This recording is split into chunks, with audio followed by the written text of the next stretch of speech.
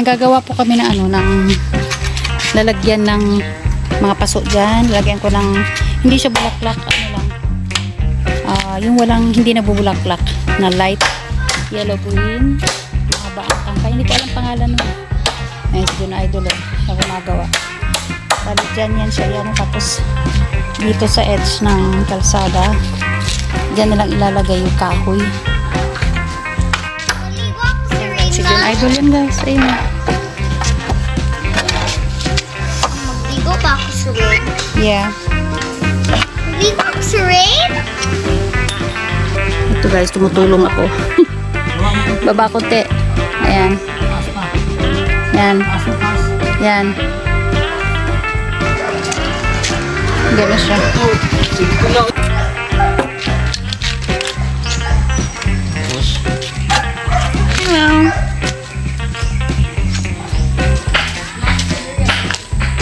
Itong ilalagay ko guys sa likod. Yung sa pinapanday ni Jun Idol ito.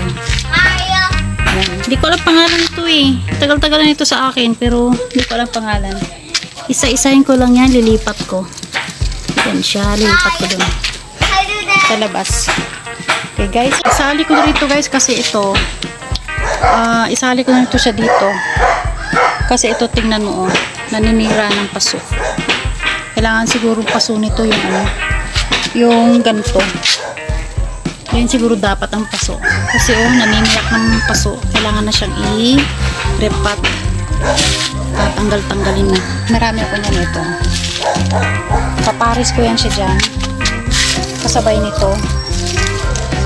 Ayan, pares ko ilagay ko doon sa labas. Labas ng bakod.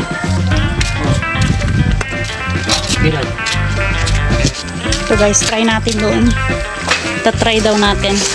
Doon sa labas. Ito guys, dito ko ilalagay. Ayan. Ayan. Kulang, kulang ang ano, ayan, dagdag pa kami dito. Wala doon. Hanggang doon sa may poste. Pero dito yung lalagyan namin. Alam niyo guys, kahit dito lang to sa kanal, ginamitan pa yan niya ng ano, libel. Ito, ginamitan pa ng libel. Nasa kalsada nga lang yung gagawin namin para daw ano, maganda tingnan. Ito guys, umabot na sa taas ayun. oh. Puputulan ko pa yan. Gunting lang ginagamit ko, gunting ng halaman. Gaya nito. Gugupitin ko lang. Dali lang naman, malambot lang naman to. Kasi nga baka may ahas na dyan sa ilalim. Kailangan na siyang bawasan.